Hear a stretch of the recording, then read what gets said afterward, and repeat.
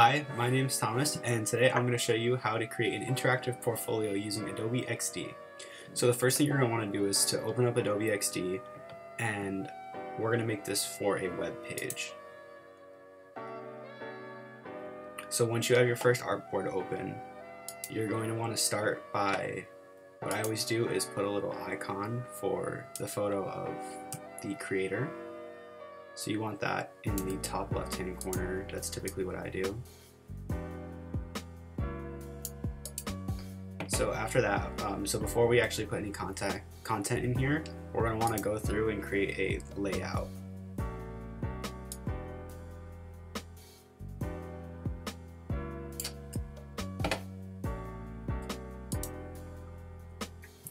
So what I just did is I created a circle and then within that circle is going to go the profile picture and then I created a line here which is going to separate the creator's information from their creative assets. So we're going to increase the width of the line I just drew just to add some more dimension to the page. Then you can grab it and drag it back and forth to try to either center it on something or center it on the page. So I'm going to center it on the page. And now I'm just going to put some filler text just for information that we're going to want to add later so that we can adjust sizing now instead of later.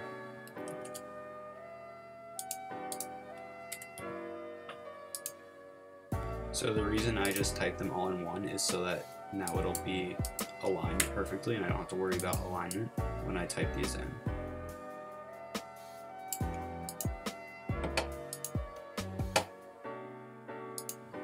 So then down here, you're going to want to have um, as many different sections as you'd like. So what I'm going to do is I'm going to put different types of photography that we'll be putting in here since this is going to be a photography portfolio. So if you do control C and then control V, you can copy and paste something and then you can just drag over that copy of it. So now we have three and we want to make sure that they are the same size and since they overlap a little bit, we're gonna size them down just a little. Hold down shift so that they keep, oh, don't do what I just did. Make sure you only have one selected and hold down shift so that it keeps the same ratio so that they all be the same size when you size them down.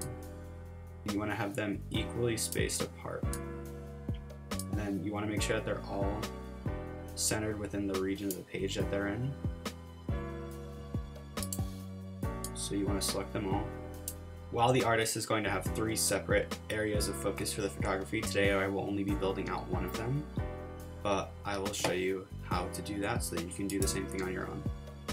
So our first section that we actually will bid out today will be food.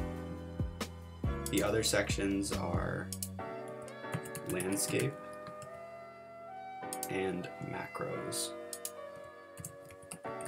So right now these are just to give us a layout of what we're going to be building and give us some direction to where we're going to place everything. So now that we have somewhat of a layout of the first page, what we're going to want to do is build out the layout of the next page. So you're going to want to go here to layers. Um, right now it's just going to show us artboard since we're not selecting an artboard right now and we're going to want to duplicate this artboard. So what that's now done is created the same thing right next to it. Um, and what I'm going to do is I'm actually going to erase everything that's on it. And now here is where we're actually going to put all of the photos. I think we have about seven photos. So I think what we want to do is have two rows. Find a size for the box that fits. So now that we have two of them, we can actually select them, copy and paste, and just drag them over. So now since there is some more space, and we do want to use that as much as possible, what we can do is make the outside ones a little bit bigger for bigger photos. So we'll put those more landscape style photos at the edges, and the more portrait photos or square photos, if there are any, towards the center. Right, and now we can start adding content. So you want to open up Finder or however you're going to um, get to your files, whether it's File Explorer or Finder. And then I have all of my photos I'm going to be using right here. So you can actually just drag and drop them into where you want them. So if you double click into it, you can actually move the photo around to center it however you'd like it. So that looks good to me. So I'm gonna leave that there. And then we'll go in and we're gonna choose one of these photos as the cover photo for it. And then the rest of the photos will go over here. We'll use this photo. So you wanna make sure that these can be read. So my advice is to make them bold and possibly a color that'll stand out from the background. You want contrast.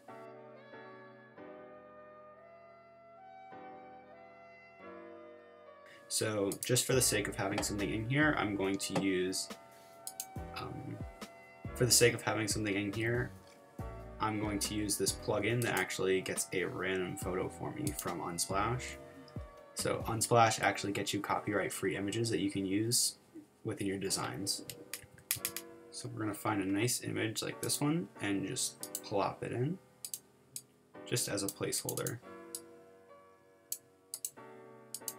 And now see how the type can't be read well, so we're going to want to change the type to a different color so that it can be read, just like that. And then we'll do the same thing for macros. And for those that don't know, macros are just close-up photos to smaller objects, just like this.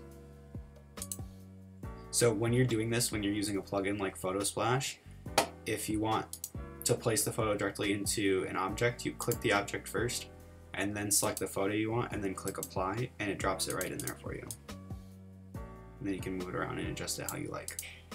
And just like the previous one, um, the contrast isn't really well good there, so we want to change that to white.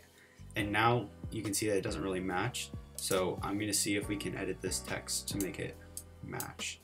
So it's somewhat readable in white, but I think if we add a shadow, yes, adding a shadow makes it much more easier to read. All right, so that doesn't look too bad. And now, instead of using the actual creator's name, I'm going to use a content generator. So with the content generator, I can actually just generate names and other information. So now we have Lori Stewart is going to be the name of our pseudo creator. She is a photographer and she is from Boston. So now that that's made, we can actually move over to the next page where we're going to add some of the content. So we're going to do this the same way. We're going to drag and drop the images. So some images will work better in different areas. We'll realize like some images like this one, they're very portrait oriented. So what you might actually want to do is change the layout of your boxes to accommodate for that. So you can delete one so that you can make room for something like this so you can actually have the full picture in there. Looks much better. And go through and do that for the rest of the photos. Something that's fun when doing this is to actually make your layouts a little interesting. So you can do something like this. But now we need to make sure that we have a wide landscape photo that'll fit in there.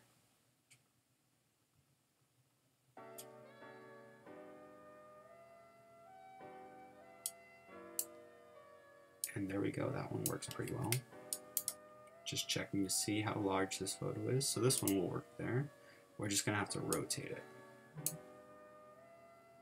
Oh, pulled in the wrong photo, but this one actually works quite well. Alright, so now we want to make sure that all the borders are around the same size, just for the purpose of symmetry. Alright, and now up here we can add some social media icons. So we're want to use another plugin to do that. I like to use this icon and symbols plugin. So we can just go get the Instagram logo, Hold shift whenever you want to make something bigger and keep it the same size. Oh, and if you do what I just did and move something by accident, do control Z and it'll pop it right back where it was. So we can lay out all the social medias over here. What you can do when you actually publish something like this is just link it all so that you don't actually have to type out any social media, like your handle or anything.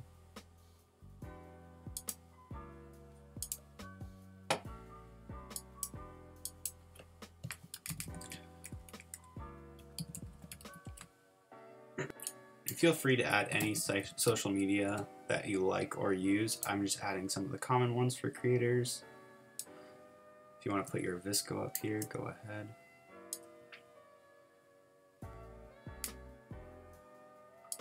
You use this dropper tool to get the color like I've been doing.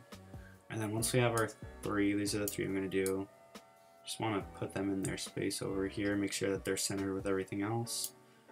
Alright, and now we can move on to actually linking these two pages together so that we'll have a functioning um, interactive portfolio. So one thing you're going to want to make sure that you do is have a button to get back to the home page within all of your other pages. So I'm going to add that right now to this page. So you're going to want to go back into icons and symbols and just type home and your home button will be right here. So we're going to drag, make that quite a bit bigger and we'll just drag that over into this and like you can see it's having some trouble with contrast again so what you'll want to do is just change the color